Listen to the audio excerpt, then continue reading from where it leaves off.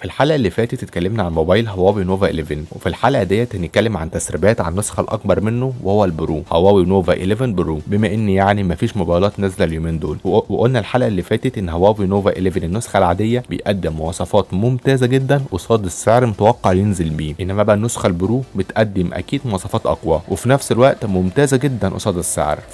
رغي كتير تعال نبدأ على طول.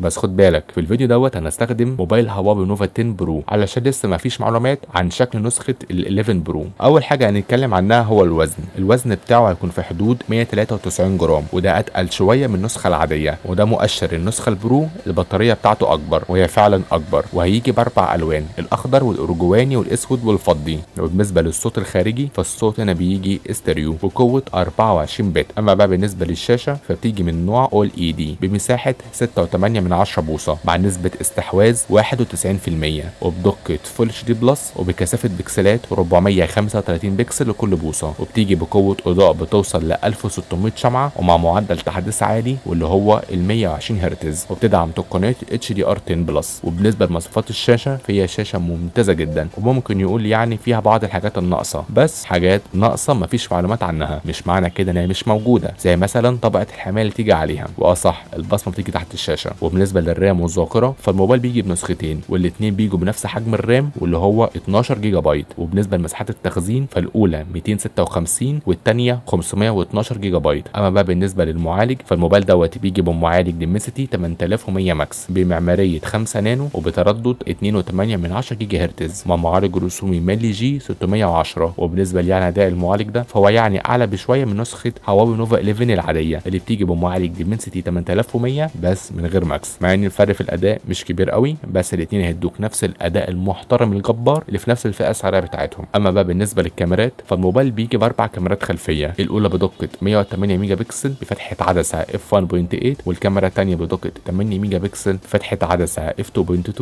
وديت كاميرا ultra wide والكاميرا الثالثه والرابعة بدقة 2 ميجا بكسل بفتحه عدسه F 2.4 واحدة منهم macro وواحدة للعزل. وبيجوا معاهم flash LED وبيدعموا تقنيه البانوراما وال HDR ويقدر يصور فيديو بدقة 4K بسرعة 30 frame. وبالنسبة للكاميرا الأمامية فبتيجي بدقة 32 ميجا بكسل بفتحه عدسه F 2.4 وبتدعم ال HDR ويقدر يصور فيديو بدقه 4K بسرعة 30 frame وبالنسبه يعني أداء وجوده وبالنسبه يعني أداء وجوده الكاميرات ديت. فدي للأسف ما نقدرش نحكم عليها نهائيا علشان لسه مجرد أرقام على ورق. ونخش بقى على البطارية. البطارية بتاعتها هتكون في حدود 4700 ملي أمبير وده عكس النسخة العادية اللي بتيجي 4300 ملي أمبير. وبتدعم الشحن السريع بقوة 80 واط وشحن اللاسلكي بقدرة 40 واط. وطبعا حجم البطارية هنا وسرعه الشحن الاثنين متناسقين مع بعض وممتازين. أما بقى بالنسبة لآخر حاجة معانا هو السعر فالسعر المتوقع عليه هو حوالي 560 دولار يعني 10600 جنيه مصري و2100 ريال سعودي و82000 دينار جزائري و820000 دينار عراقي. وبس كده كده أنا خلصت. وبالنسبة لرأيي فيه أنا شايف إنه ممتاز جدا من ناحية إمكانيات قصاد السعر المتوقع اللي هو ينزل بيه. بس ينزل لنا بالسعر دوت وما ينزلش وما بس ينزل لنا بالسعر دوت وما يزيدش أكتر من كده. عشان لو زاد يعني هتبقى بواخد شوية. وبس كده كده أنا خلصت وطبعا رأيك تحت في التعليقات يهمني وسلام.